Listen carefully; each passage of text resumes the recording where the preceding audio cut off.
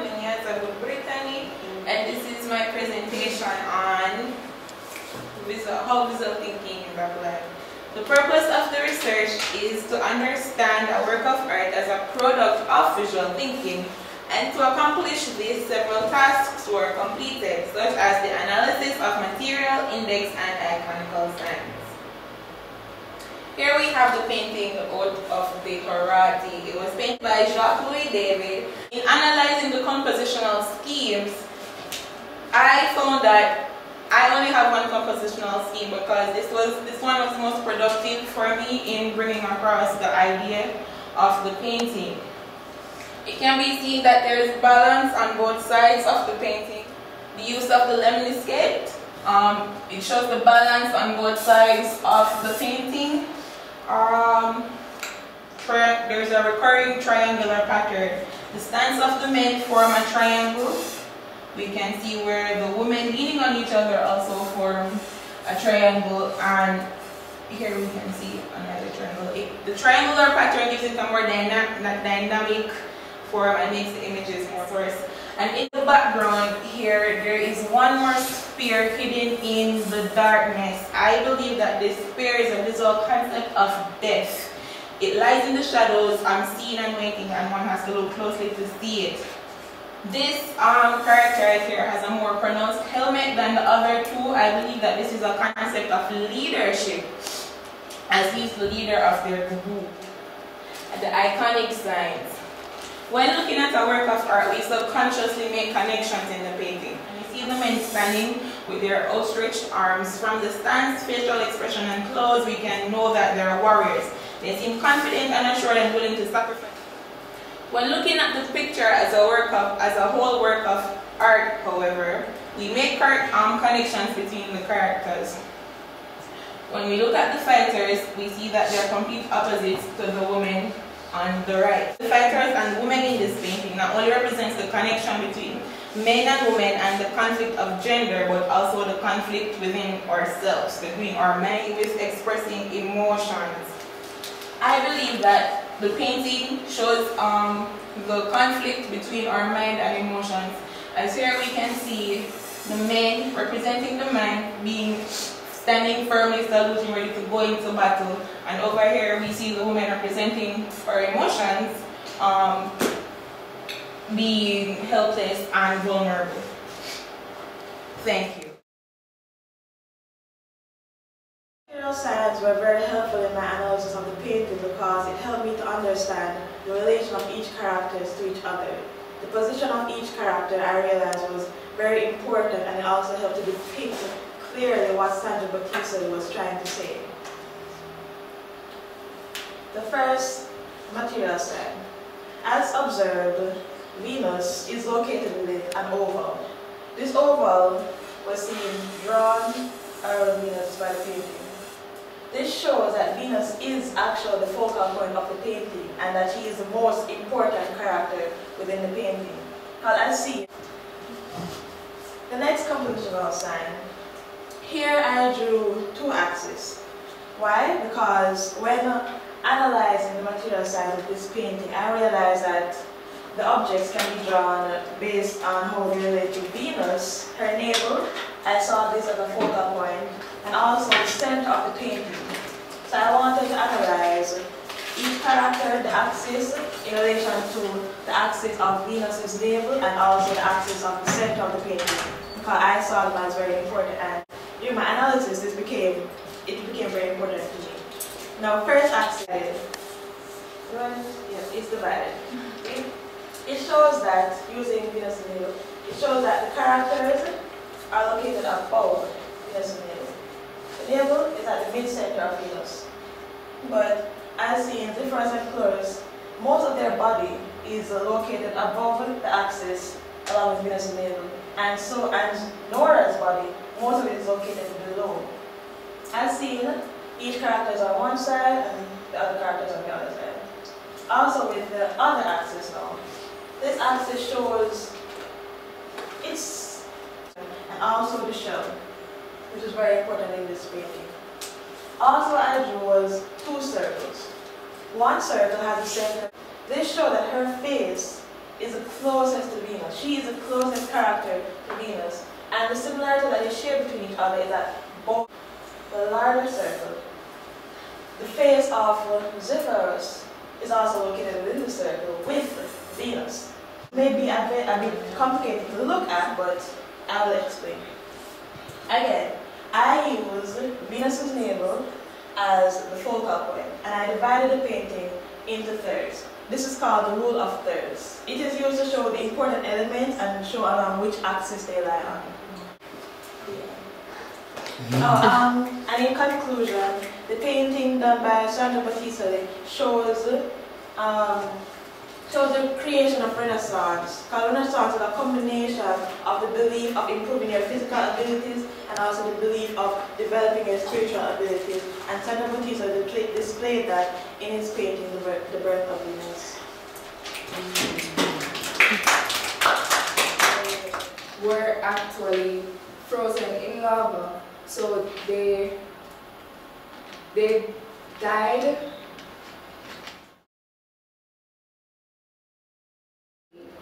The visual technique used a visual technique used was perspective as he used different different sections of this symbolizes the event was a day it was a day of chaos and so using the composition scheme of the spiral it relates to it as the composition scheme, uh, the spiral, is lined with the lighting, the angle of the lighting. So uh, here we have the brighter sections coming up, the focus of the light, and in these areas were darker. Um, the painting was also uh, analyzed or drawn with the hourglass or the arches, here being a darker section, an upside down arch and the upside. Here showed the destruction and the trauma of the day with the darkness. And when we had, when I had turned the, this the image upside down, the arch was more visible. And then there was the grid. There was also a compositional scheme of Lemniscate, which is the infinity, which he used to um, position the people in the sections. And it, the, however, this, this compositional scheme uh, contradicts the title of the painting, The Last Day of Pompeii, as infinity means forever and beyond. However, the last day means the end, and there is no further to go. Um, index and iconic signs. The index signs and iconic signs that were um, presented or found the index signs, the destroyer, the connector, hope, chaos, faith, religion, strength, and the creator. Here, to focus on the connector, here we have this lady right here. This character right here showed a lady who was the central figure. She showed the connection between the two groups of people it all in her image also her she is turned away from um, the other the iconic signs protection family life transportation architecture and landscape. Focusing on protection and family life. Here we see uh, children who are carrying their father.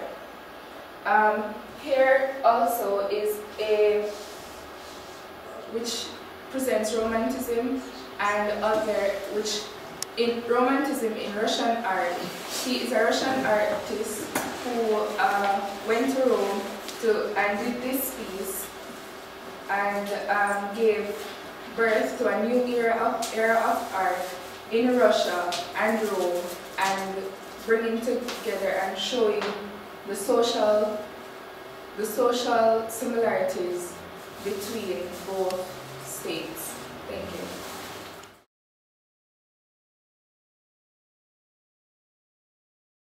is the irony of the Negro policeman painted by Jean-Michel Basquiat. The aim of this task is to analyze this piece of art as a product of visual thinking. In 1981, Jean-Michel Basquiat painted Irony of the Negro Policeman, a painting that is much deeper than just the, oil, the acrylic and oil. The painting is a human figure with black skin wearing a white mask. It is a cartoon-like drawing with straight lines around the edges. These were the most helpful composition schemes. In the first picture, it shows how the painting moves from the center, where the lines meet outward.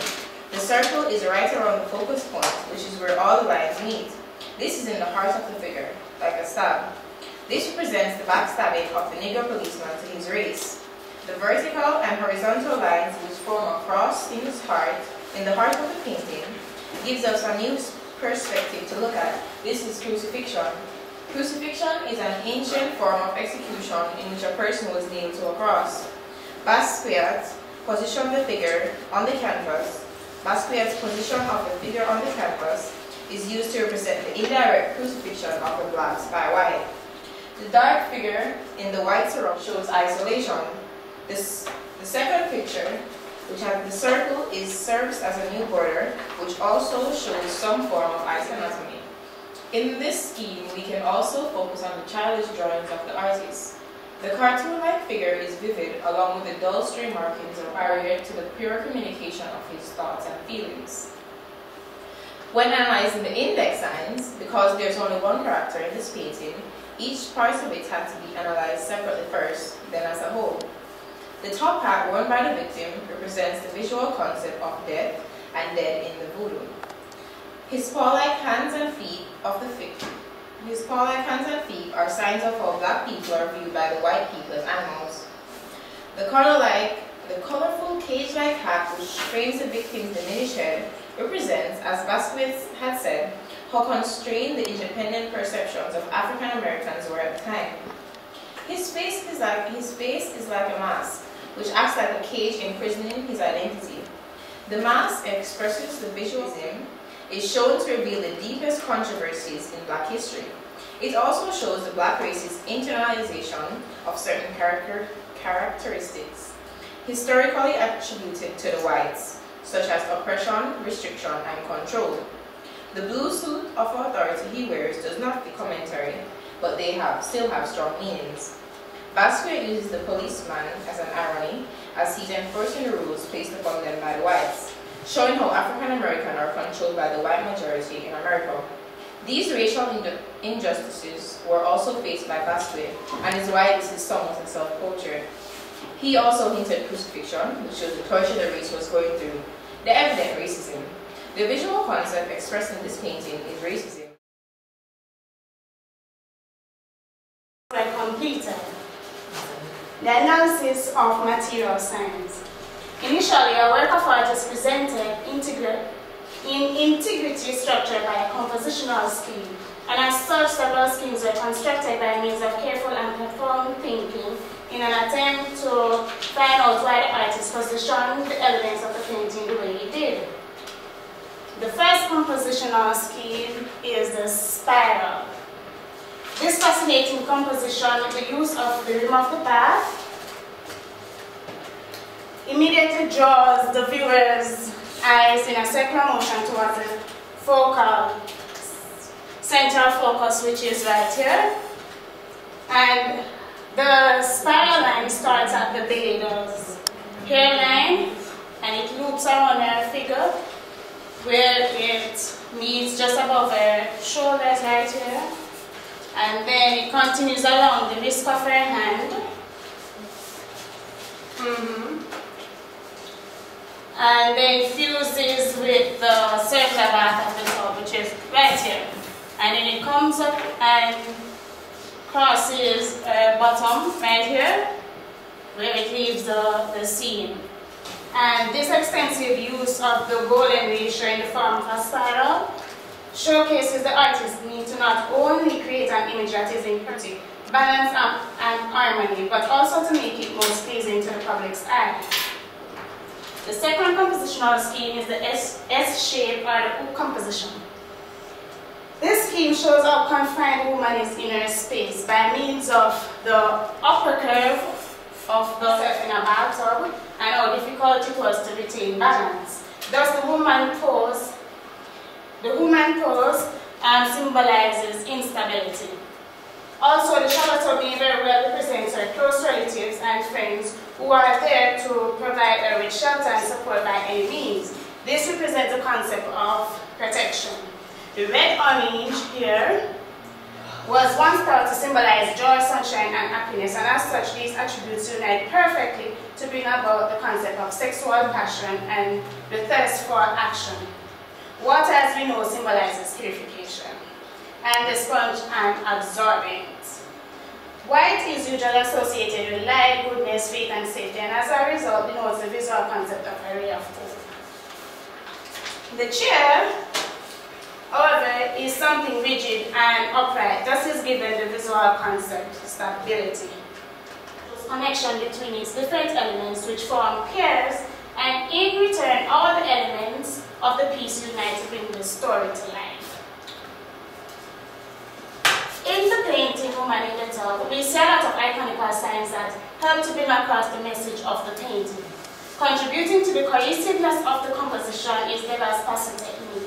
With a chart, he transverse every outline, whether of the tub, the bather, or the join, join between the curtains and the cloth on the floor in order to mitigate the dis that the contours would otherwise create. Beholding the picture as a whole, all the elements appear unified by the orange shade of color seen dazzling about the room. And these are the connections that were made within the iconical signs.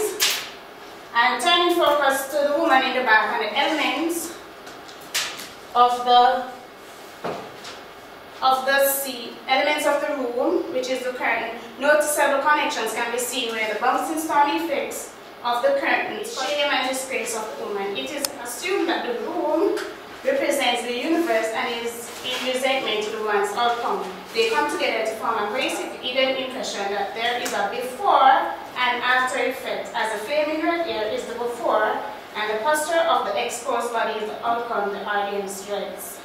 It is not by chance the tub is circular. The artist deliberately uses this shape to represent the woman in intermediate. Painting from one standpoint showcases the, the stages of the life of a woman who is of cleansing herself of her past deeds and in attempt to bring about a positive change in her life. Therefore, the overall visual concept expressed by the painting is renewal of oneself. Her old life is being washed away figuratively by the water in the tub to reach a state of purity. Thank you very much. Spasiba za